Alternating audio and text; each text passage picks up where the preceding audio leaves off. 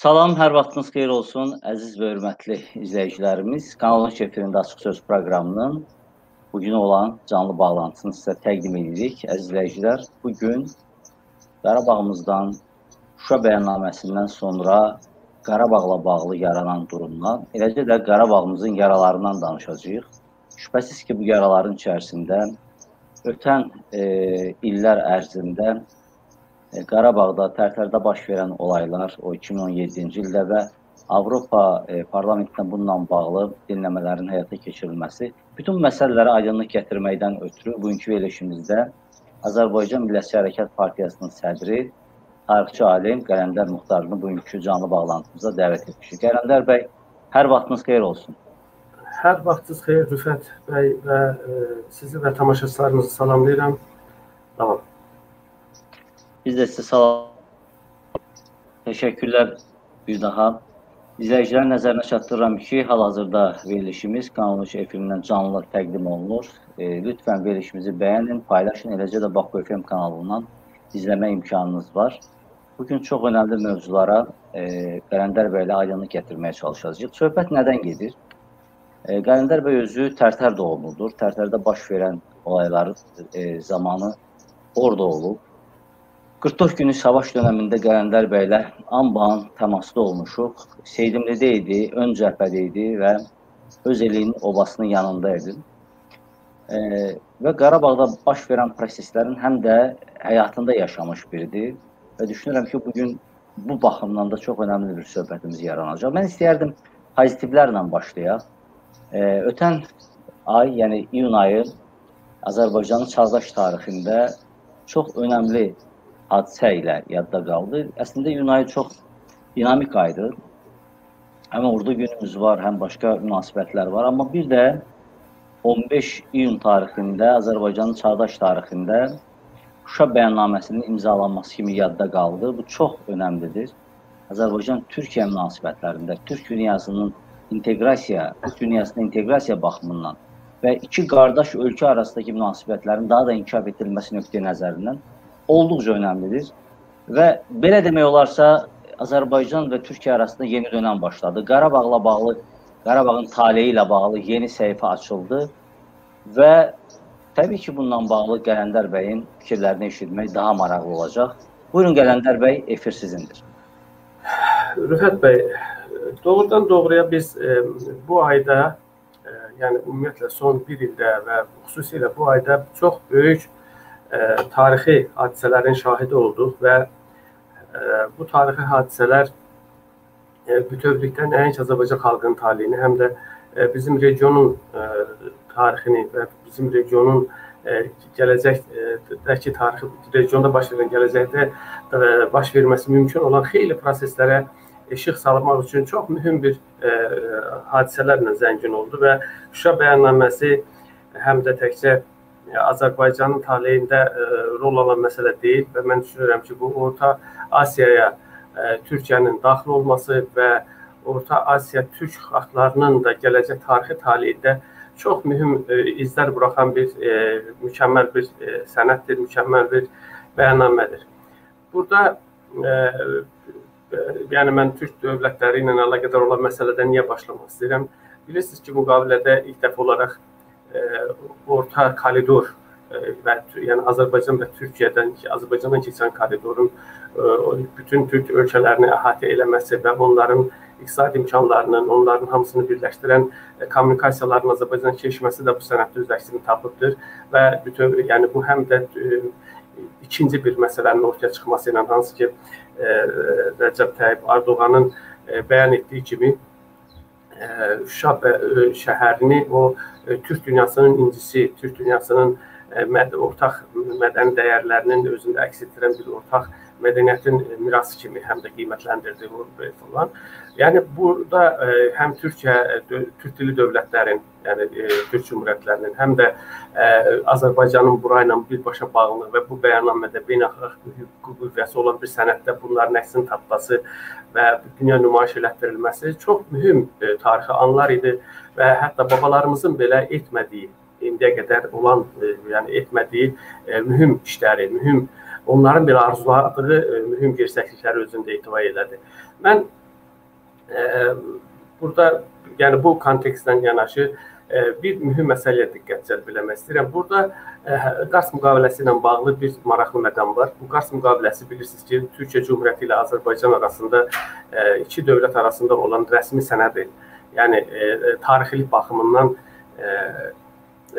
onun davamı kimi qiymətləndirilməsinin çox mühüm əhəmiyyəti var. Yəni 100 illik bir dövrü əhatə ilə münasibətlər sisteminə yeni bir əlavənin yeni bir Şuşa e, bəyannaməsinin e, e, əlavə olunması və bunun Qars müqaviləsi ilə tarixsel olaraq bir, bir bərkidilməsinin çox möhtəşəm bir əhəmiyyəti vardır. Bu da xüsusi olaraq qeyd edilməlidir və Azərbaycan üzərində, Azərbaycan dövlətinin ərazisi üzərində, Azərbaycan xalqının tarixi təhlükəsizlik məsələləri üzərində və Azərbaycan sərhədlərinin bütövlüyü məsələsində Azərbaycana hücum etmək, Türkiyə hücum etmək kimi bir qavramın sənəd şəklinə, müqavilə şəklinə salınması çox möhtəşəm bir hadisə idi və əslində biz həm ordumuzun yenidən qurulmasının müqavilədə öz əksini tapması, həm də təhlükəsizliyimizə bu şəkildə qarantiyanın verilməsi və bu şəkildə Türkiyə dövlətinin qarantiyası altına girilməsi çox möhtəşəm bir hadisədir və mən yenə təkrar edirəm ki, bu bütövlükdə dünyanın da maraqlarına cavab verən bir hadisə idi. Bunlarla yanaşı bir mühüm məsələni də mən qeyd etmək istəyirəm ki, bilirsiniz ki, Azərbaycan ordusu e, doğrudan da özünün şücaəti ilə, özünün e, Şuşa e, xüsusilə Şuşa şəhərinin alınmasındakı göstərdiyi o qəhrəmanlıqla və dünyanı heyrətə gətirən qəhrəmanlıqla müşahidə olunması və orada müasir modelin hava hücumundan müdafiə sistemləri və yeni texnologiyaların tətbiq edilməsi ilə əlaqədar olaraq çox mühüm bir yeniliklər dünya nümayişləşdirmişdi. Amma bununla yanaşı bir mühüm məsələ də ortaya gəldi ki, Türkiyə hava hücumundan müdafiə sistemlərinin Azərbaycanda istehsalı ilə Azərbaycanın e, hava hücumlarından müdafiə sistemlərinin və hava yeni hava ürünləri, silah istehsalı ilə əlaqədar olaraq fabrik və zavodların tikilməsi ilə ə, e, Azərbaycan da ixracatçı bir dövlətə çevriləcək. Yəni dünyada bunu ixrac edən bir neçə barmaqla sayılacaq dövlət var və Azərbaycan deyək ki, heç 10 dövlət yoxdur və bu 10 dövlət, yəni silah söhbət silah satışından getmir. Söhbət ən müasir e, silahlardan gedir, pualardan gedir və s. və bu cür silahların satışında Azərbaycanın ora daxil olması doğrudan qürur vericidir və millətimizin hər tarixinin çox mühüm məqamlarını özündə etiv etdir və bu istiqamətdə artıq addımlar atılmağa başlayıb. Bilirsiniz ki, Azərbaycanda 20-yə qədər hərbi xarakterli, yəni hərbi e, e, məhsullar istehsal edən zavod var. Və bunların əksəriyyəti modern silahlarla, yəni e, silahların istehsalı ilə məşğuldur. Bununla yanaşı belə bir e, yəni Türkiyənin bu cür şəkildə açıq dəstəyi ilə və belə hərbi e, silahların istehsalı ilə məşğul olan bir zavodun istehsal zavodun inşa edilməsi və bunun e, dünya silah ixracına e, ixracına, yəni hər iki dövlətlə birlikdə e, həyata keçirməsi bütövlükdə regionda Türkiyə, Azərbaycanın da Türkiyə kimi, yəni Türkiyənin ən azı yanında yer almasında və regionda baş verən hadisələrdə söz sahibinə çevrilməsində çox müstəsna rol oynayacaqdır. Bax bu, bu baxımdan da mən hesab edirəm ki, bu həm Qarabağ savaşından, həm də bu müqavilədən sonra bizim mövqeyimiz tamamilə güclü bir hala gəldi və xüsusilə mən bir məsələni də qeyd edeyim ki, bu müqavilə Qarabağda o qalib müharibənin müharibədə ki, Rusiya bura güclə belə deyək də müdaxilə eləyib bizim o qələbənin mühüm bir qismini oğurlamışdı. Bizdə bu təəssürat vardı, amma Türkiyənin bu müqaviləni imzalamaqla sanki orada yarımçıq qalmış işlərin böyük bir hissəsini təkrar bərpa etməsi kimi xarakterizə oluna bilər. Bunlar əslində mən e, çox e, diqqəti cəlb etmək istəyirəm ki, burada bizim hətta o sahədə, yəni danışıqlar masasında və Rusiyanın bura müdaxiləsində, Rusiyanın burada e, sülh məramladı altında çox ciddi Azərbaycanın suverenliyini məhdudlaşdıran addımları nümayiş etdirməsi ilə ki, xarakteriz olunurdu. Bizdə böyük bir xəyal qırıqlıqları yaradırdı. Bax, sanki bu ya bunlar bir yara idi bizə hər dəfə Rusiya bu cür addımlar atanda və bunların sağalması istiqamətində və bu qələbənin möhtəşəmliyini təkrar ə, o ə, dünya nümayişlətdirməsi baxımından və bunu bir sənəd şəklinə salması baxımından çox ə, mühüm hadisələr yaşandı və ona görə də mən bu sənədin bir mühüm əhəmiyyətini də burada ə, bununla qeyd etmək istəyirəm. Sonra bizim ə, Təkcə bu sənəd bizim bilirsiniz ki, ə, e, hərbi baxımdan deyil, digər sahələrdə də əməkdaşlıq məsələlərimizə çox ciddi töhfələr verir. Azərbaycanın təhsil sistemindən tutmuş ə, e, siyasi səhnədə və digər sahələrdə iqtisadi əlaqələri baxımından gediş-gəliş, müntəzəm əlaqələrin qurulması və bir, bir millətləşmə və dövlətləşmə istiqamətində Türkiyə dövlət yapısının da Azərbaycanda şəkillənməsi, Azərbaycanın e, Türkiyənin bir növ, yəni Türkiyə kimi haqqa, ədalətə söykənən bir cəmiyyətə qovuşması istiqamətində müəyyən addımların da atılacağı bu sənəddə öz əksini tapıbdır. Ona görə də bu sənədi mən e, doğrudan doğruya çox böyük, çox möhtəşəm bir sənəd hazırlar, qiymətləndirirəm və çox möhtəşəm bir e, məsələ kimi dəyərləndirirəm. Və mən e, su qovşanda siz də iştirakınızla bizim o su qovşandakı arzularımızın sanki bir reallaşması, orada səsləndiyimiz fikirlərin reallaşması baxımından da bir mühüm əhəmiyyət idi. Biz ondan xeyli əvvəl, yəni təqribən 18 gün e, əvvəl e, Türkiyə e, bizim orada bəyanatımız səsləndi və o bəyanatda biz göstərmişdik ki, Şuşada baş konsulluğun açılması və Türkiyə hərbi birliyinin yaradılması. Bunların hamısını özündə etibar edən addımlar atıldı və bizim bu arzularımız sanki əksini tapdı və mən düşünürəm ki, Nadir Şahın da ruhu bir balaca dincəlmiş oldu ki, orada səsləndirilən bu fikirlər doğrudan da addım-addım e, e, sanki həyata keçirilir. Doğrudan da e, Türkiyədəki böyüklərimizin, böyük siyasət adamlarımızın düşüncələri və atdıqları real, cəsur addımlar əsnasında həyata keçirilir. Bu addımlar e, tarixi addımlardır. Bu addımlar cəsur addımlardır. Və bizim qələbəmizin təmin olunması e, bizim e, doğrudan da bir şansımızın həm də onda olması deməkdir ki, e, Ərdoğan hökuməti bax bu Ərdoğan kimi cəsur bir dövlət adamının hakimi, milliyyətçi və cəsur, e, imanlı bir dövlət adamının haqqın və ədalətin yanında olmaqla öz tarixi o Türkiyənin və türklüyün tarixi missiyasını bu şəkildə e, nümayiş etdirən bir şəxsin hakimiyyət başında olması və bu cür cəsur addımlar atması.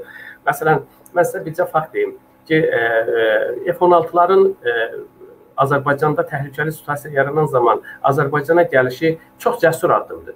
Çox şərəfli, ləyaqətli bir addımdır və Türkiyə dövlətinə və Türkiyənin doğrudan doğruya bizə edə biləcəyi bir addım idi ki, bunu atdı və mən düşünmürəm ki, bunu başqa bir Türk hökuməti bu şəkildə həyata keçirə bilərdi. Çünki biz bu nümunələri görmüşük. Biz bir vertolyotu alacaq qədər cəsarəti olmayan bir Türk hökuməti də görmüşük. Amma bütün bunlara bax... yəni bunu siz e, bilavasitə Sayın Cumhurbaşqanı Ərdoğanın şəxsiyyətinə mi bağlayırsınız? Yəni bu kö köməkləri ya Biraz bunu aydınlaşdırır Səməd. Bu heç şübhəsiz ki, Ərdoğanın e, yetişdiyi bir mühit var. Ərdoğanı ərsəyə gətirən bir cəmiyyət var. Ərdoğanı bu şəxs, amma insanın da şəxsi keyfiyyətləri və xarakterindən real gələn məqamlar da var. Ərdoğan e, doğrudan doğruya e, bir nemət kimi, bir e, dəyər kimi bu günlərim e, bizim e, bizim biz onları müasirlərik və bizim bizlə bir müasir o yeniləşmələri, müasir dünyanın şəkillənməsini həyata keçirən bir liderdir. E, mən e, xarici bir mətbuatda e, Birləşmiş Ərəb Əmirliklərinə məxsus bir e, beynəlxalq e, araşdırması e, mətbuat orqanında bir yazı yazıya rast gəlmişdim. Orada çox maraqlı bir ifadə vardı. Deyir, Ərdoğan Qarabağ savaşı ilə təkcə Cənubi Qafqaza daxil olmamışdı. O həm də Mərkəzi Asiya daxil oldu və Əfqanistan üzərindəki onun ata biləcəyi addımları Amerika boş-boşuna hesablamamışdı. Amerika bunu çox dərindən düşünmüşdü və o fikirlərini inkişaf elətdirərək belə bir maraqlı məqam ifadə edirlər ki, Vaxtilə deyir Makedoniyalı İskəndər e, Əfqanistan və Pamir dağları, o cümlədən Hindistanı işğal edərkən ona kahinlər belə bir müjdə vermişdilər ki, sən qorxma, bu fədakarlığını davam etdir və sən buna nail olacaqsan. Bu qordu düyününü sən açacaqsan. Və, e, və baxmayaraq ki, e, bu Ərəb Əmirliklərinin bu o qədər də Erdoğanla isti münasibətləri yoxdur və onların təmsil onlar da, yəni Ərəb Əmirliklərinin təmsilçi kimi çıxış edən bir mətbuat orqanı Ərdoğanın məhz növbəti dəfə qor düdüyünü aça biləcəyini vurğulaması, Amerika və SSR kimi böyük dünya güclərinin məğlub olduğu bir məmləkətdə Türkiyənin ayaq açması filan, yəni bunlar sıradan hadisələr kimi xarakterizə olunmur və hətta bu cür güc toplayıb Avropaya təzədən qayıdan Türkiyə ayrı bir Türkiyədir, o qlobal gücdür deyə e, xarakterizə edilir. Və mən təbii ki, e, bu fikirlərin hamısını doğrudan doğruya bölüşürəm və bunlar çağdaş dünyada şimşək kimi çaxan fikirlərdir. Çox gözəl, mükəmməl bir fikirlərdir və mükəmməl bir təhlillərdir. Mən e, açıq biraz realist yanaşıram bəzi məsələlərə. Mən deyib düşünmürəm ki, bu günlərim Rusiya kimi hegemon bir dövlət doğrudan doğruya da hər məsələdə məsələsi bitibdir, artıq narahatçılıqları, dünyanın narahatçılıqları azalıbdır falan. Dünya Rusiyanı qlobal güc kimi hətta bu gün qoruyub saxlamaqda da bəzi məsələlərdə mənə elə gəlir maraqlıdır. Dünya o dərəcədə tez bazar istəmir ki, Rusiya kimi qlobal bir gücü itirsin, getsin. Çünki dünyanın bütün diqqətini və dünyanı bir gərginlikdə saxlamaq üçün Rusiya kimi bir dövlətin də olması maraqlıdır. Amerika kimi gücə, e, Avropa Birliyinə və s. Amma ə, Türkiyə ə, burada təkcə bax dünyanın 21-ci əsrin 20-ci illərində dünyanın təkcə gözləmədiyi və fərqli bir şeyin ortaya çıxdığı, yəni fərqli bir dünyanın rəngarəng bir görünüşünü ortaya qoyan təkcə Türkiyədir. Təkcə Türkiyənin qlobal bir gücə çevrilməsidir və addımlarını da, istəyini də ədalətə və milli istəklərinə, haqq etdiyi istəklərinə söykərək atmasıdır. Türkiyənin Azərbaycanla bağladığı istər bu anlaşma, istər Qarabağ savaşındakı cəsur addımlarının hamısının arxasında bir məqam dururdu. Türkiyə demir ki, bura mənim geosiyasi maraqlarıma daxildir Rusiya kimi. Türkiyə deyir ki, bu mənim öz millətimdir, bu mənim öz vətənimdir, bu mənim öz yurdumdur deyir deyibəm və bu addımları ata bildi və bu cəsurcasına atdı. Bunu şərəfcəsinə atdı. Ona görə də bax bu hadisələr çox tarixi hadisələrdir və millətimiz təbii ki, ola bilsin bu hadisələrin əsl mahiyyətini biz hələ də olduğu kimi qiymətləndirə bilmirik. Bizim bu hadisələrin gələcək inkişafımızda, gələcək millət görünüşümüzdə, gələcək dövlət görünüşümüzdə hansı rol oynayacağının fərqində deyilik və Azərbaycan torpaqlarının bütövləşməsində, Azərbaycanın o e, Rusiyada, Gürcüstanı götürsək, İranda və Erməni Qərbi Azərbaycan dediyimiz ərazilərdə olan torpaqlarımızın bütövləşməsi istiqamətində hansı mühüm addımlara gətirib çıxaracağını və hansı mühüm tale edici və müəyyən edici işlər olacağı, yəni işlər üçün bir növ stimul olacağını biz ola bilsin ki, bu gün tam fərqində deyilik. Ancaq mən düşünürəm ki, biz doğrudan doğruya çox xalqımızın tarixində mühüm hadisələrin müasirləriyik. Biz bu hadisələrin dərinləşməsi üçün mübarizəmizi əsasən gücləndirməliyik. Və mən heç şübhəsiz ki, buradan bir keçid eləmək istəyirəm ki, çox təəssüf ki, çox təəssüf ki, dövlətimizin gücünün olmasına, mali imkanlarının güclü olmasına baxmayaraq, dövlətimizin idarə olunmasında çox ciddi əngəllər var. Dövlətimizin düşmənləri dövlətimizin tam təpəsindədirlər, ortasındadılar. Dövlət idarəsinin ən ali məqamlarında yerləşiblər və e, bu məsələlərdən qurtarmaq və Azərbaycanı doğrudan sevən, heç olmasa Türkiyədən gələn sevginin bir onda biri qədər e, bir normal münasibət bəsləyən bir kadrların hakimiyyətə gəlişi və Azərbaycanı faciələrdən uzaq tutmağı bacaran bir hökumətin e, qurulması və e, qanun qanunverici hakimiyyətin formalaşması kimi mühüm talih yüklü məsələlər durur. Biz bu məsələlərə adekvat olmalıyıq. Biz e, regionda baş verən və Türkiyənin regionda yaratdığı situasiya adekvat bir quruluş bir dövlət quruluşu qoymalıyıq, dövlət modeli qoymalıyıq. Ona görə də çox qarşımızda tarixi missiya durur və bu missiya biz ə, hazır olmalıyıq. Biz mən bir dəfə də təkrar etmişəm sizin verilişinizdə, biz qalib millətin ərkanına uyğun dövlət olaraq addımlarımızı ata bilmirik. Ə, bir nəfər üzərində, bir iki adam üzərində, iki şəxs üzərində dövlətin e, bütün mahiyyəti göstərə bilməz. Dövlətin bütün qələbə e, sevinci dünyaya elan edilə bilməz. Bütün dövlət, bütün millət olaraq biz bunu e, dünya ilə bölüşməliyik, bunu dünyaya nümayiş etdirməliyik və bunun arxasında Azərbaycan xalqının qüdrətinin durduğu, Azərbaycan oğullarının qüdrətinin durduğu, Azərbaycan qadınının yetişdirdiyi, Azərbaycan əskərinin durduğunu həqiqətən də bəlli eləməliyik. Biz bu qədər faciələr içərisindən, bu qədər sovet baskısı içərisindən belə millətin sağ-salim çıxması və bu cür qüdrət nümayiş etdirməsi bu tarixi möcüzəsidir. Bu, bu möcüzəni inkişaf etdirməliyik. Və bu, bu, bu cür hadisələri bir fərdin dilindən səslənməsi ilə bu hadisə pərvəriş tapası deyil, bu hadisə yeriyəsi deyil. Dünya, bunu dövlət səviyyəsində həyata keçirilmək lazımdır, amma dövlət səviyyəsində biz bunları həyata keçirə bilirikmi? Başımıza bu boyda faciələr gəlir. Bu cür qəhrəmanlıq göstərmiş ordunun taleyi ilə bağlı bu cür hadisələr müzakirə olunur. Bu cür faktlar açıqlanır, dünyanı dəhşətə gətirən faktlar açıqlanır. Dünya buna dilə gəlir, yad düşmənlər hətta belə dilə gəlir, amma Azərbaycan bəy, o sualı mən sizdən soruşacağam. Mən başa düşdüm e, dünyanın. Və gəlin elə Şuşa bəyannaməsi ilə bağlı fikirlərimizi yekunlaşdıraq. Çünki o Şuşa bəyannaməsində həm də bilavasitə sizin illərdir apardığınız bütövlük davasının bir çalarları var, bir simptomları var. E, söhbət həm də siz İrəvan Türk Cümhuriyyətinin rəhbərliyində təmsil olunursunuz. Orada da yenə Zəngəzur, şərti adı Zəngəzur dəhlizi olan bu koridordan söhbət gedir. E, nə düşünürsünüz? Şuşa bəyannaməsi o e, Zəngəzur dəhlizi adlandırdığımız o koridoru reallaşmasına bir təkan verəcəkmi? Bir bizi bu bu sual maraqlandırır. İkincisi bu yaxınlarda bir dəyərli dostum bizim efirimizdən, yəni Türkiyəli jurnalist dostum Sərdar bəy maraqlı fikir səsləndirdi ki, dedi e, Sayın Ərdoğanın Şuşa səfəri e, Rus sülh məramları şey təbii ki, dırnaq içində onların Azərbaycandan çıxışının start nöqtəsi oldu. Mən istəyərdim bu iki məsələ haqqında e, danışaraq bəyannamə ilə bağlı söhbətimizi yekunlaşdıraq. Sonra o işarə etdiyiniz məsələ ilə bağlı təbii ki, sualım var, sizdən soruşacağam. Çox sağ olun, çox ə, e, incə mətləblərə gəldiniz.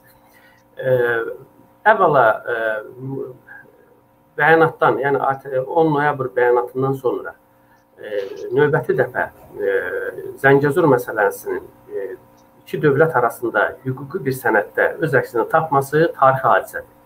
Yəni Zəngəzura dönüşün hüququ və beynəlxalq əsaslarının yaranışı üçün çox ciddi addım atıldı. Bu bir. İkincisi Türkiyə qara yolla, yəni e, quru yol vasitəsilə. Quru yol. Türkiyə Azərbaycan əlaqələrinin qurulması üçün Türkiyənin Azərbaycana və Azərbaycandan da e, o Mərkəzi Asiya və Orta Asiya və digər ərazilərə keçişinin təmin olunması və iqtisadi münasibətlər sferasında bu məsələlərin e, gələcəkdə həyata keçirilməsi üçün ciddi hüquqi baza, zəmin e, ortaya gətirmiş oldu. Və mən düşünürəm ki, bu məsələlər e, artıq indi hansısa razılaşmalarmı, hansısa reallıqlar çərçivəsində Rusiya ilə razılaşdırılıb və Rusiya bütün cəhdlərinə baxmayaraq yavaş-yavaş bu bölgə ilə əlaqədar məsələlərdə çıxacağı gözlənilir. Və Ermənistanda bilirsiniz ki, ən ciddi təşviş bir ifadənin ortaya gəlməsindədir ki, artıq Azərbaycanda heç kəs Yerevan demir, hamı İran deyir. Bunun özü o, e, çox ciddi məsələlərə gətirib çıxaracaqdır və mən bir məsələni deyim. E, Paşinyanın e, Ermənistanda təkrarən hakimiyyətdə qalması və Ermənistanlar ermənilərin e, müharibəyə yox sülhə e, səs verməsinin çox ciddi tarixi əhəmiyyəti var. Bunun biz fərqində olmalıyıq. Burada ən mühüm amillərdən biri Ermənistanın sürətlə qərb istiqamətinə getməsi və normal sivil bir e, məcrada, yəni bir e, gələcəklərini qurmalarına bir e, yol açılmış olur və Rusiyadan uzaqlaşmaları o, bu bölgənin taleyi ilə bağlı və Qərbi Azərbaycan torpaqlarının e, taleyi ilə bağlı çox ciddi məsələləri ortaya gətirəcəkdir. Və Rüfət bəy, burada mən bir məsələni də demək istəyirəm. Bu məsələ çox ciddidir və bu Azərbaycan e, teleməkanında çox az səslənir. E, nadir hallarda bu bir dəfə mən e, demişəm bu fikri, bir də ola bilsin kimlərsə deyib mənim xatırım deyil, amma bir məqamı deyəcəm. 1991-ci ildə Azər 18 oktyabrda e, Azərbaycan dövlət müstəqilliyi haqqında konstitusiya aktı qəbul olunarkən orada mühüm bir məqam var. Onun ikinci maddəsində göstərilir ki, Azərbaycan e, Respublikası Azərbaycan Xalq Cümhuriyyətinin həm dövlət, həm e, tarixi, varislik və sair cəhətdən, o cümlədən sərhəd və sair varisidir. Və bu xalq oylaması ilə qəbul olunubdur. Biz referendumla keçmişik bu məsələni. Heç bir dövlət adamının, heç bir xarici dövlətin xal bizim xalqın iradəsini dəyişmə hüququ yoxdur. Azərbaycan xalqı 1920-ci ilə qədər, aprelin 27-sinə qədər mövcud olmuş Azərbaycan Xalq Cümhuriyyətinin varisidir. Və xalq onu bu şəkildə qəbul edib, ötürüb bu cümhuriyyətə Bu cümhuriyyətin başlıca borcu və bunu səs verib referendumun dəyişməyə heç kimin e, yəni referendumda e, əksini tapıb xalqın e, yük, çox yüksək bir hissəsi biz referendum təqribən 90%-dən yuxarı səs verilmiş Azərbaycan müstəqilliyi bağlı heç kəs dəyişmə hüququna malik deyil. Orada bizim ərazilərimiz indiki Ermənistanın ərazisi deyil. Və burada kimsə gətirib bir xəritə qoyur, falan eləyir. Bu məsələlər deyil. 9000 kvadrat kilometrlik bir anlaşmadan söhbət gedir Ermənistandan. Qalan torpaqlarda Azərbaycanın torpağıdır. Ermənilər istəyərsə bizlə bircə o yaşa o məsələlərdə yaşamaq hüququna malikdir. Biz tolerant millətiyik və doğrudan da ermənilə bircə o ərazilərdə yaşamaq hüququmuzu reallaşdıracağıq. Bu qısa bir zamanın işidir. Dünənlərim bu cür anlaşmalar, bu cür qələbələr bizə xəyal kimi gəlirdi. Mənim millətim, bax bu gözəl millətim bilsin ki, onun hüquqi əsasları bizdə var. Azərbaycan Respublikasının rəhbərliyi, siyasi rəhbərliyi onun da fərqində olmalıdır ki, bu məsələlərdə Onun hüququ tutacağı var. Xalqın iradəsinə söykənən etimadı var. Xalq bu etimadla, yəni e, buna e, Azərbaycan hökumətinə, Azərbaycan siyasi rəhbərinə bu tutarqanı verib ki, bizim ərazilərin 18-ci, 20-ci illərdə mövcud olmuş tarixi Azərbaycan torpaqlarının üzərində bu cümhuriyyətin hüquqlarını, yəni indiki müasir Azərbaycan cümhuriyyətinin hüquqlarını təsbit etmək onun vəzifə borcudur. Və qalan torpaqlar heç biri səs verməklə keçirilməyib, referendumla verilməyib, xalqın iradəsinə söykənmədən verilməyib. Yəni yetməyib. Bunlar hansısa bir qərar əsasında həyata keçirilib. Ona görə də ruslar bəzən Ermənistandan hayf çıxmaq üçün həqiqəti deməyə başlayırlar ki, 1918-ci, 20-ci illərdəki Cümhuriyyətdə, yəni bolşeviklərin verdikləri o ilkin müqavilələr və ya 21-ci ildə mövcud olmuş müqavilə əsnasında həyata keçiriləcək. 20-ci ilin aprelindən 28-ə qədər olan müqavilə ilə e, delimitasiya həyata keçiriləcək. Bu bilirsiniz nə deməkdir Ermənistan üçün? Ona görə də bizim çox ciddi hüququ həm beynəlxalq hüquqa söykənən, həm e, Azərbaycan xalqının dövlət hüquq tarixinə və xalqın iradəsinə söykənən əsaslarımız var. Dövlət bunu həyata keçirməyə borcludur. Azərbaycan dövlətinin başlıca ideya və həyat, nə bilim, hər cür baxımdan ən birinci həyata keçirməyə vəzifə budur. Biz bu istiqamətdə getməliyik. Və növbəti bir məsələ kimi deyim, əgər qərbə doğru inteqrasiya prosesi genişlənəcəksə, hərsək ki, mən bunun bəzi məsələlərdə mən bundan razı deyiləm, çünki bizim özümüz ayrıca bir sivilizasiyayıq. Biz bizim sivilizasiya, bizim e, quracağımız dövlət, e, qura biləcəyimiz, yəni istəsək biz balaca bir mücadilə aparsaq, qurmaq istədiyimiz dövlət dünya nümunə ola bilər. Mən düşünmürəm ki, Türkiyədəki ədalət sistemi dünyanın hansı ölkəsində var. Ən gözəl ədalət sistemi məhz budadır. Ən e, insani və Allahın iradəsindən belə Allahın da etibar etdiyi dünyanın ən böyük dəyərlərinin e, diktə etdiyi ədalət sistemi məhz Türkiyədədir. Türk, türklüyün yaratdığı ədalətdir. Türkiyə dünyanı bununla fəth eləyirdi. Türkiyənin ədaləti ilə götürürdü və biz də təbii ki, buna doğru addımlar atacağıq. Biz dünyanın ən ağır e, baskısını yaşamış bir millətik. Biz Rusiyanın e, əsarəti altında 60 milyon bu 200 ildə insan itirmiş bir millətik. Rusiya və bütün güclər bu Rusiyanın bu cür e, hoqqasına, bu cür o insan qətliamlarına göz yumduğu bir e, şəraitdə olubdu bu hadisələr. Yəni demək istədiyim budur ki, bu müqavilə həm də 1918-20-ci illər Cümhuriyyətinin o təsbit etdiyi prinsiplərə, Azərbaycan tarixi ərazilərinin cızıldığı sərhədlərə söykənərək davam edəcəkdir və onu bir daha özündə təkrarlayır. Ona görə də mən bu müqavilədə səslənən Zəngəzura bağlı və bizim Qərb Azərbaycan torpaqlarına qayıdışla bağlı olan məsələlərimizdə hətta bu da nəzərdə tutmayan bir-iki məqamı da xatırlatdım ki, biz millətimiz xatircəm olsun bu məsələlər mütləq və mütləq öz əksini tapacaqdır. Ola bilsin ki, bunun daha çox mümkün olan variantı dis yolla, dis məskunlaşma yolu ilə həyata keçirilən məsələlər olacaqdır. Onun tarixi əsasları da bizim üçün var və ermənilər bunun fərqindədir. Ona görə də hətta indiki delimitasiya məsələlərində bilir ki, bu xəritələrdə olan torpaqlar ə, e, Azərbaycana aiddir və yavaş-yavaş o əraziləri köçürlər, o əraziləri tərk edib gedirlər və bütün yüksəkliklərin mütləq əksəriyyəti bizim nəzarətimizə keçir. Orada Azərbaycan Türk bayrağını görən heç bir erməni o ərazilərdə qalmayacaqdır, çünki Rusiya onların e, tarixi keçmişinə elə ləkələr yazıb ki, öz elədiyini, erməninin adına elə ləkələrdən yazıb ki, təbii ki, erməni də buna alidə olmuş bədbəxt bir millətdir. İndi bu bədbəxtçiliğini davam etdirir. Onların burada qalması tarixin am məsələlərdir. Yavaş-yavaş bu məsələlər öz həllini tapacaqdır və mən bu məsələdə əslində millətimizə bir müjdə kimi demək istəyirəm. Bu məsələlər mütləq və mütləq həllini tapacaqdır. Azərbaycan böyük Azərbaycan olacaqdır. Azərbaycan Dərbəndinə də sahib duracaqdır. Azərbaycan Türkiyə ilə birlikdə bütövlükdə Qafqazın e, dövlətinə, yəni Cənubi Qafqazdan getmir. Söhbət ümumiyyətlə Qafqazın sahibinə çevriləcək bir gücün e, lokomotivi olacaqdır. Və Azərbaycan faktiki olaraq bu dəqiqə Türk dünyasının e, Türkiyə ilə birlikdə Türkiyə və Azərbaycan Türk dünyasının lokomotividir. Çəkib aparacaq əsas e, gücüdür. Odur ki, İnşallah ki, bu tarixi günlərdə e, biz daha e, ciddi hadisələrin də şahid olmaqda davam edəcəyik. Çox təşəkkür edirəm Qələndər bəy. Əslində çox maraqlı bir mövzuya daxil olduq biz və mən istəyirəm bununla bağlı e, söhbətimizi davam etdirək. Sonra o problemli məsələ, e, yəni Tərtərlə bağlı Avropa Şurası Parlament Assambleyasındakı dinləmələr, müzakirələr 24 deputatın onunla bağlı təşəbbüs haqqında danışmaq istəyirik. Çünki siz Tərtərdə baş verən olaylar haqqında kifayət qədər məlumatlısınız. Və nələr baş verir, bu proses nəyə doğru gedir, onunla bağlı soruşacağız. Amma bunu soruşmaya bilmərəm. Çünki siz artıq o məsələyə işarə etdiniz və bu günümüz üçün olduqca aktual məsələdir. Məhz 18 oktyabr 1991-ci ildə qəbul olmuş Azərbaycan Respublikasının dövlət müstəqilliyi aktının e, dövlət müstəqilliyi haqqında konstitusiya aktının 10-cu maddəsi xatırlayıram ki, Azərbaycan Respublikasında suveren hakimiyyət Azərbaycan xalqına məxsusdur deyə belə bir bənd var orada. 10-cu bənd.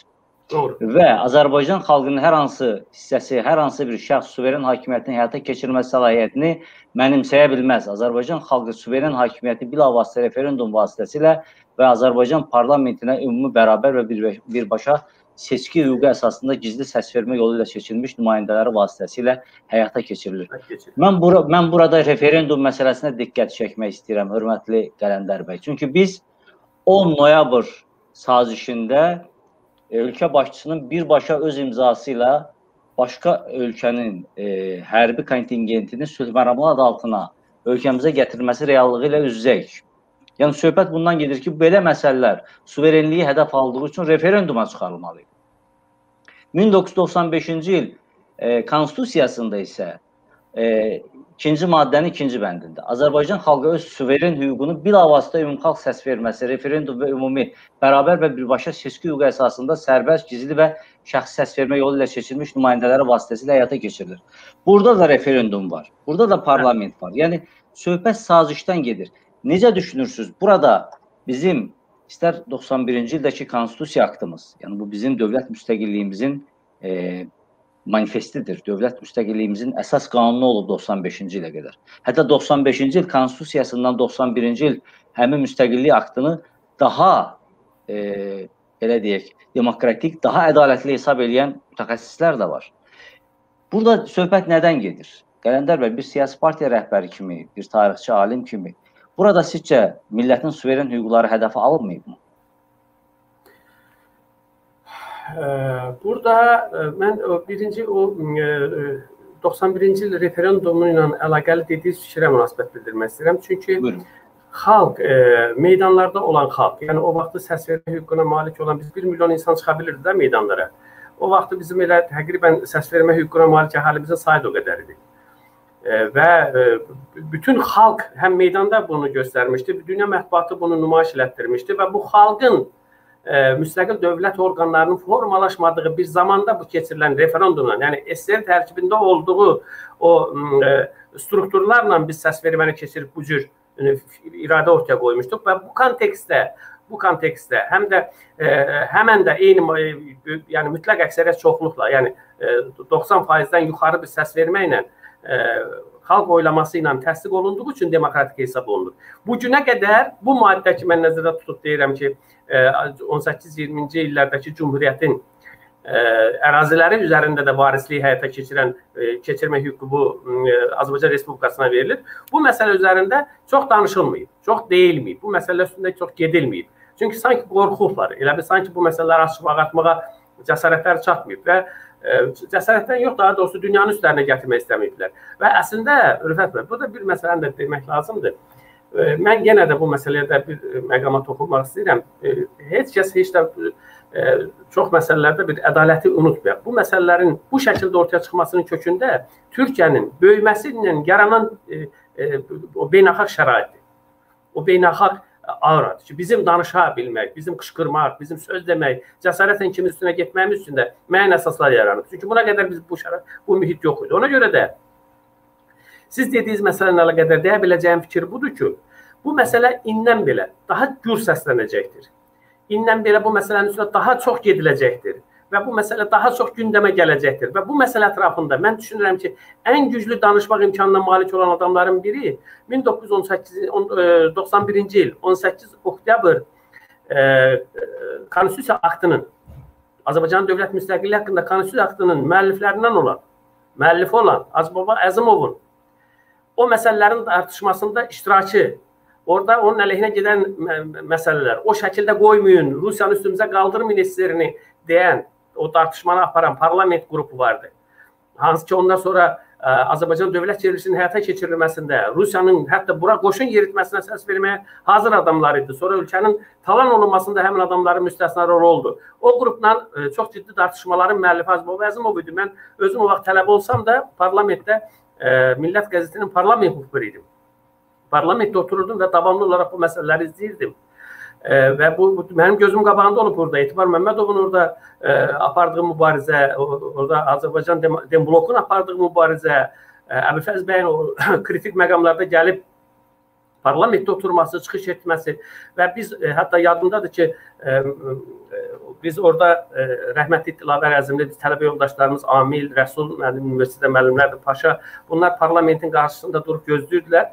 Mən çıxdım, e, ki bu e, biz orada şəkil də çəkdirdik falan e, e, və oradan çıxıb e, həmin dostlarımızla bir yerdə e, şəhidlər xiyabanına gedib şəhidlərə də müstəqillik xəbərini verdik. Bax bu cür e, o proseslər bu bu dəqiqliyinə qədər mənim yadımdadır və ona görə də bir gün düşünürəm ki, e, siz də bu məsələnin Azərbaycanın sərhədləri ilə bağlı məsələnin hüquqi və ümumxalq əsasları o buna bu məsələnin müzakirəsini təşkil etməniz çox gözəl olar və e, bu işlərdə rol almış adamlar və söz deyə bilmək imkanına malik olan adamların iştirakı ilə davamlı olaraq bu gündəmə gəlməlidir.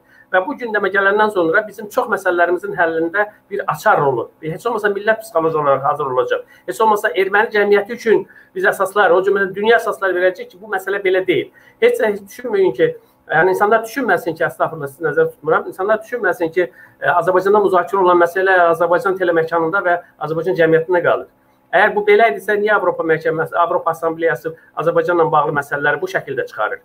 Azərbaycandan gedən bütün məsələlər Türkiyə parlamentində, dünyanın başqa ölkələrinin parlamentlərində nə bilim qanunverici orqanlarında və digər məhkəmə hüquqi sistemində necə niyə müzakirə olunur? Yəni burada deyilən məsələlər dünyaya yayılır. Dünya o dünya deyil. Dünya informasiya dünyasıdır və hər bir maraqlı təşkilatlar burada müzakirə olunan məsələlərin, hüquqi əsasları olan məsələlərin hesabatını öz dövlətlərinə və xalqlarına çatdırır. Ona görə də bu məsələlərin gündəmə gəlməsi və müzakirəsi çox mühümdür, çox əhəmiyyətlidir. Və sadəcə olaraq mənim bir xahişim odur ki, bu məsələdə söz imkanı olan adamlar, doğrudan doğruya bu hadisələri adamlar, doğrudan doğruya Azərbaycan torpağının qanunsuz olaraq verilməsində iştirak eləmiş adamlar. Bu gün bu adamların çoxu sağdır. Artur Rəssadə Qazaxdan verilən torpaqlara qol çəkmiş adamdır. Onun mən barəsində məqalə də çap elətdirmişəm o vaxtı. Torpaq Dövlət Torpaq Komitəsində işləyirdilər. Bir neçəsi gəlib məni məhkəməyə vermək istəyirdi. Mən xatırlayıram o vaxtı AKP, Azərbaycan Kommunist Partiyası və Azərbaycanın torpaq bütövlüyü məsələsi və bu cür bir təqribi mövzu buydu və bununla bağlı çox ciddi araşdırmalarım vardı. Mən o məsələlərin hamısını qoymuşdum ki, kimlər iştirak edibdir, kimlər gedib qol çəkibdir, parlamentdə nə vaxtı Azərbaycan Ali Sovetində bu məsələlər təsdiq olunubdur. Ona görə də bu məsələlər zaman-zaman gündəmə gəlməlidir və hüquqi əsassızlığı ortadan qaldırılmalıdır ki, Azərbaycanın bu Şuşa bəyannaməsindən irəli gələn Azərbaycan torpaqlarının bütövləşməsinə istiqamətlənən və hədəf kimi orada qoyulan məsələlər öz əksini tapa bilsin. Azərbaycan xalqının mübarizəsinin hədəfləri aydınlaşa bilsin. Azərbaycan ziyalısının cəmiyyət həyatındakı rolu nədən ibarətdir? Mübarizə aparmaq istəyən xalqa müəyyən hədəfləri doğru-dürüst göstərməlidir. Doğru-dürüst istiqamət verməlidir ki, sən bu məsələdə getməyinin bu qədər hüquq əsasları var, qorxmayacaksın. Mülkiyyətlə bağlı məsələlərin üzə çıxmasında bizim vəkillər iştirak eləməlidir. Amma təəssüf ki, bu məsələlər e, axsayır. Bizim ona görə deyirəm ki, biz regionun güc nümayiş elətdirib bu boyda qələbələr çalmasına baxmayaraq o qalib dövlət ərkanına yaraşan addımların davamını apara bilmirik. Burada çox ciddi axsamalarımız var və bunları həyata keçirmək lazımdır və heç şübhəsiz ki, bu arxasına dövlət gücünü almadan bunu həyata keçirmək mümkün olmayacaq. Dövlət gücünü arxamıza almaq üçünsə ermənilər qədər bizə mane olan, ermənidən də daha ağır mane olan içimizdəki o 5-ci kolon deyirik, nə bilim, nə, nə və o Bayaq dediniz, dövlətin təpəsində qərar tutanlar. Qərar tutanlardır ki, bunlar imkan verilmir və bunlar hamısı bu məsələlərdən uzaqlaşdırılmalıdır. Bələndər bəy, qeyd etdiyiniz məsələ 1991-ci ilin dövlət müstəqilliyi haqqında konstitusiya aktının yaradıl e, yaranması, həmin proses haqqında e, hörmətli professor Hacıbaba Əzimovla bizim silsilə verilişlərimiz olub. Soydaş proqramı çərçivəsində və çox da geniş rezonans oya, e, oyadan məqamlar var orada. Üzr istəyirəm. Və e, mən düşünürəm ki, o verilişləri yenidən izləyicilərə təqdim etməyin zamanı gəlib çatıb. Çünki bu gün də suverenliyimiz təhdid altındadır. Təkcə suverenliyimiz yox, ordumuzda da o təhdidlər var.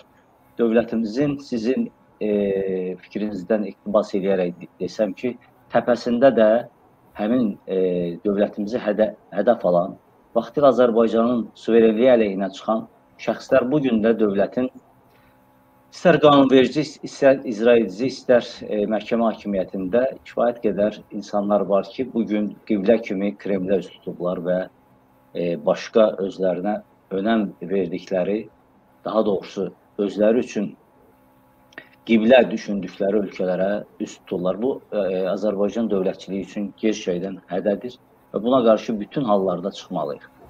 Deməli, ötən e, həftənin ən mühüm hadisələrindən biri də, yəni Azərbaycan üçün və sizin üçün, yəni sizlə bu barədə bizim dəfələrlə verilişlərimiz olub. E, Beynəlxalq işgəncə qurbanlarına dəstək gün ərəfəsində Avropa Şurası Parlament Assambleyasının 24 üzvünün Azərbaycanda işgəncələrin araşdırılması təşəbbüsü ilə çıxış etmələri olub. E, 1551 sayılı müvafiq sənəd 1551 sayılı da deyə bilərik. E, iyunun 25-də Avropa Şurası Parlament Assambleyasının saytında dərc edilib. Onun təşəbbüskarı İtalyan senator Robert Rampidir. Doğru. Sənəd müəllifləri tərtər işində miqyaslı işgəncələr faktı ilə əlaqədar araşdırmanın zərurətini bildiriblər. Belə ki, 200-dən artıq hərbçi bu işin qurbanı olub, onlardan 11-i vəfat edib. Həmin e, deməli sənəddə qeyd olunur ki, Parlament Assambleyası Azərbaycanda işgəncələrə və qeyri-insani rəftara dair məlumatların sayının artmasından narahatdır. Məsələn, 2017-ci ildə Azərbaycanın cəbhə bölgələrində olan mindən çox hərbçi və şəxs casusluqda və dövlət xəyanətində şübhəli bilinərək saxlanılıb. Onların barəsində 200-dən çox cinayət işi açılıb, onların çoxu işgəncələrə və qeyri-insani rəftara məruz qalıb. 2017-ci il mayın 1-dən 17-sinə də işgəncələr nəticəsində 11 nəfər ölüb. Yəni belə bir məsələ var. Yəni ölkənin e, 7 may 2017-ci il tarixində Baş Prokurorluq Dövlət Təhlükəsizlik Xidməti, Müdafiə Nazirliyi və Daxili İşlər Nazirliyi Ermənistan xüsusi xidmət orqanlarının xeyrinə casusluq ittihamı bir qrup hə, həbsinin və mülki şəxsin saxlandığını bəyan ediblər. Söhbət bundan gedir ki, bu məsələ artıq Azərbaycan hüdudlarını aşıb. Bu e, nədən xəbər verir? Olmazdımı biz bunu ölkə daxilində elə həll eləyək? Niyə hakimiyyət e, yetkililər bununla bağlı susqunluq nümayiş etdirirlər? Susqunluğunu pozan hərbi prokuror yalan adlandırır baş prokuror bu məsələni e, nağıl adlandırır. Nə baş verir? E, Qələndər bu məsələnin həlli yollarını ölkə daxilində tapmaq daha yaxşı olardı, nəinki ölkə xaricində. Amma hər halda bu proses artıq beynəlxalq önəm kəsb edir. Nə düşünürsüz? Hara doğru gedir? Mən e, çox təəssüf edirəm ki, Azərbaycanla bağlı, yəni bu qədər e, tarixi əhəmiyyətli millətimiz üçün şərəfli hadisələrdən sonra Azərbaycan e, ordusunda, bu cür qalib orduda, bu cür müzəffər orduda baş vermiş bu hadisələr ölkənin e, e, hakimiyyət nümayəndələri tərəfindən göz ardına verildi. Ölkənin birinci şəxsi indiyə qədər bu məsələlərə münasibət bildirilməyib, bildirməyib. Və əslində Rüfət bəy, burada bilirsiniz məsələ nədən gedir. Azərbaycanın e, təkcə ordusunda bu hadisələr törədil, e, törədilməsi ilə, yəni bu hadisələrə loyal qalmaqla və məhkəmə hüquq sistemi bu hadisələri araşdırmamaqla bütövlükdə çox ciddi cinayət şəbəkəsinin mövcudluğunu ortaya gətirdi, çıxartdı. Yəni e, tutaq ki, bir adamı e, siyasi maraqlara görə və ya da siyasi fəaliyyətinə görə həbs eləyirdilərsə, biz deyirdik, ki, indi hakimiyyətli bir qoldur, filandır, beşmişə xalq belə deyirdi hər halda. Amma işgəncələr əsasında insanların, yəni bax o assambleyanın qəbul etdiyi qərarda ikinci bənd var.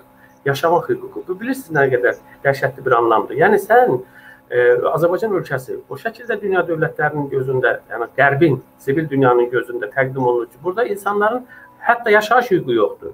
Və yaşayış hüququ əlindən alınmış özü ordudan gedir söhbət. Adamlar öldürülür, yaşamaq imkanı verilmir bunlara. Bu qədər və buna dözən Azərbaycanın istintaq orqanları var. Buna dözən Azərbaycanın məhkəmə sistemi var. Bunu bunu göz ardına alan Azərbaycanın e, ambusman sistemi var, ali məhkəməsi var, prokurorluq sistemi var. Bunlar e, insanların qanunun keşiyində durmaq, insanların hüquq və azadlıqlarını qorumalı olduğu halda buna göz yuman, buna təşkilatı məzmun verən, bunun gizlədilməsini həyata keçirən bir orqanlara çevrildi və bu dəhşətdir. Və bu cür dəhşətin açıqlanması Azərbaycanda ədalətli sistemin olmadığını bütün dünya nümayiş etdirmək üçün bir vasitə çevirdilər tərtər işini. Tərtər işinin açılmaması təkcə e, xalqa və ədalətin yerinə gəlməsinə xidmət etməyib. Ədalətin ortaya çıxmasına xidmət etməyib. Həm də Azərbaycan dövlətinin ifşa olunmasına səbəb olub. İndi təsəvvür eləyin ki, bununla bağlı bir komitə yaranar, komitədən e, nə bilim e, bura bir baş məruzəsi təyin olunacaqdır, məruzəsi Azərbaycana gələcəkdir. O bu sənəd hələ e, ümumiyyətlə heç nə hesab olunacaqdır. Bundan daha ağır cinayətlərin ortaya çıxması məsələsi üzə çıxacaqdır.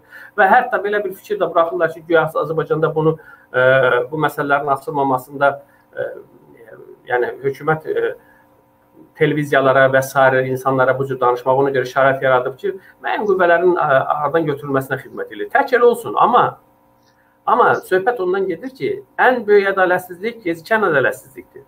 Zamanında bu məsələlərə münasibət verilməlidir və millətin yaraları sağalmalı idi. Adamlar həbsxanadan buraxılmalı idi. Onları qeyd şəxsiz olaraq, əgər 6 aydır, 5 aydır bunların müzakirəsi gedirsə və bu müddət ərzində dövlət orqanı və hakimiyyət orqanları susubsa, yenə də ədalətsizlik davam edir. Orada heç orada insanlara verilən mən deyirəm, deyirəm, bu cür hadisələri, oradakı işgəncələrin mahiyyəti haqqında danışmaq istəmirəm.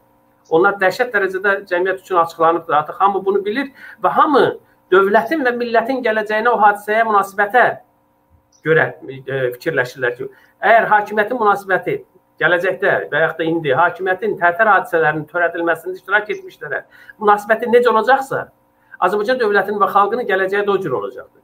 Və təkcə bu hadisələr onunla kifayətlənmir ki, orada e, vətənə xəyanət adı altında qurulmuş bir psixoloji mandrajın e, prizmasından bu hadisələri törədiblər. Adi müxalifətçiyə də o işgəncələr tətbiq olunub, adi vətəndaşlara da o işgəncələr tətbiq olunub. Bütün insanlara, yəni Azərbaycan e, hüquq mühafizə orqanlarının, istintaq orqanlarının bütün qurumlarında, bütün e, təbəqələrində, yəni belə mən aşağıdan yuxarı gedir. Və neçə nə qədər ölüm halları var. Adam 2 saat sonra hə, ölübdür. Və bu cür hadisələrə zaman-zaman, zaman-zaman münasibət bildirilmədi, zaman-zaman haqq qazandırıldı və nəticədə bax bu cür eybəcər bir e, e, dünya miqyasında bizi utandıran, bizi heç eləyən, bizim nə milli, nə dövləti, nə tarixi, nə əxlaqi e, kimliyimizə uyğun gəlməyən bir şərəfsizlik ortaya çıxıbdır. Bir namussuzluq ortaya çıxıbdır. Bir ləyaqətsizlik ortaya çıxıbdır. Və bu müzəffər bir orduya qarşı həyata keçirilibdir. Günahı olmayan insanlara qarşı həyata aparılıbdır. Buna qarşı niyə susmaq, necə susmaq olmaq, e, susmaq mümkün idi? Niyə bu hadisələrə zamanında e, dövlətin, bəs dövlət nədir? Millət dövlətini ona görə yaradır ki, onun adından qanunun keşiyində dursun, onun adından mənim addımlar atsın. Niyə atılmadı bu addımlar? Niyə dövlətin atalıq əli e, bu yaraları sağaltmadı? Və bu məsələ gedib Avropada. Niyə mənim millətimlə bağlı olan haqsızlığı Avropanın e, ədalətinə gedib güvənməlidir bu millət? Avropanın ədalətinin əlindən həll olunmalıdır bu işlər. İndən belə onun dəyəri də yoxdur bizim üçün. Və ortaya çıxan mənzərə budur ki, bu dövlətə təzədən əl gəzdirilməlidir. Başdan ayağa dövlət qurulmalıdır. Başdan ayağa dövlətin atributları addım-addım təsbit olunmalıdır. 100 dəfələrlə deyildi ki, bu cür partiya sistemləri yaranma, yaradılmamalıdır. Partiyalara bu qədər əzab verilməməlidir. Bu söz deməyə bir adam tapa bilmirlər bunlar. Azərbaycan parlamenti o gündə olmalı deyil. Gün bir parlamentin bir adamı durub bu hadisələr haqqında danışmağa cəsarət tapa bilmir özündə. Söz deməyə cəsarətləri yoxdur. Çünki bunların xalqa aidiyyatı yoxdur. Bunların bu millətə aidiyyatları yoxdur. Bunların millətlə heç bir bağlılığı yoxdur. Və ona görə də onu seçən kimdirsə onun qarşısında məsuldur. Onu seçən də bu cinayətin başında duranlardır. Ona görə də bu məsələlərə e, ciddi şəkildə qiymət verilməlidir və e, ali e, rəhbərlikdən Azərbaycanda xalqın iradəsini həyata keçirən ali dövlət hakimiyyət orqanının başında duran şəxslər, o cümlədən birinci olaraq İlham Əliyev cənabları bu məsələyə münasibət bildirməlidir və bu məsələyə təcili müdaxilə eləyib birinci olaraq e, o e, 20 nəfərin barəsində qaldırılan cinayət işini ləğv elətdirib və onların hamısı barəsində həbs qəti imkan tədbirini dəyişməlidir. Orada vətənə xəyanətlə bağlı heç bir şey yoxdur. Və artıq bu istintaqı xalq özü aparıbdır. Və e, şəhidlərin haqqı qaytarılmalıdır. Döyülüb şəhid olunubdular onlar ən ağır formada və Avropa bundan daha dərinə getməsinə imkan vermə, verilməməlidir. Başqa dövlətlərin, başqa dünya birliklərinin bizim ərazimizə müdaxiləsi, bizim ərazimizə yox, daha doğrusu dövlətimizin daxili işlərinə müdaxiləsinə əsas verilməməlidir. Azərbaycan normal e, sivil münasibətlər sferasına daxil olmalıdır. Hamı bir, bir şey bilsin. Paşinyanın qalmasına sevinirlər ki, müharibə adamı yox, sülh adamı gəlir, qaldı. Amma Paşinyan üzünü Avropaya tutur və daha çox dünyanın diqqətini cəlb edir və dünyanın bir neçə dövlətlərinin verdiyi bəyanatları mən xatırlatmaq istəyirəm. Məsələn, Kanadanın ki, biz Ermənistana bu gündən sonra daha həssas yanaşmalıyıq. Ermənistanın yolunda davam etməsinə daha ciddi dəstək verməliyik. Azərbaycan isə bu müqaviləsini, bu qalib e, duruşunu e, daim ayaqda saxlamaq üçün e, çox normal qaydada addımlar atmalıdır. Ermənistandan ki yaranmış bu vəziyyət bizdə tamam fərqli bir e, siyasi və demokratik situasiya yaratmağı tələb eləyir. Və bu situasiyanın birincisi ədalətdən başlayır. Ədalət verilməlidir bu məsələyə. Bu cür qalib orduya bir tərəfdə şərəflilər və yaxud da bir tərəfdə qalib əskərlər, digər tərəfdən isə öz ordu əskər yoldaşını, dostunu satmayan, haqsızlıq etməyib ölən, ölümü üstün tutan adamlara ədalətsizlik dura bilməz. Ədalətsizlik, ədalət belə e, təmin olunmur.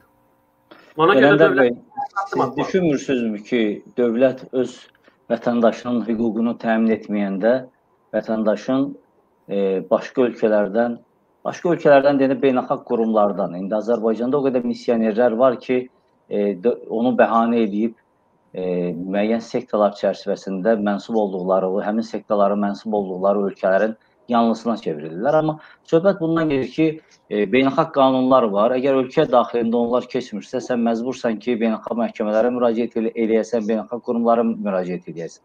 Bax, burada günahkar millət deyil hər halda. Burada günahkar əlaqədar qurumlardır, elə deyilmi sizcə? Elədir və e, Rüfət bəy, biraz bu məsələlərə aydın açıq cavab vermək lazımdır. Mənə elə gəlir ki, burada e, bu işgəncələrin ki, həyata keçirilməsini təmin ediblər və buna bunlar təşkilatı məzmununda daşıyan bir qurumlar olublar, birləşiblər bunlar. Müəyyən dövlətlərin çetələri, cinayətkar şəbəkələri.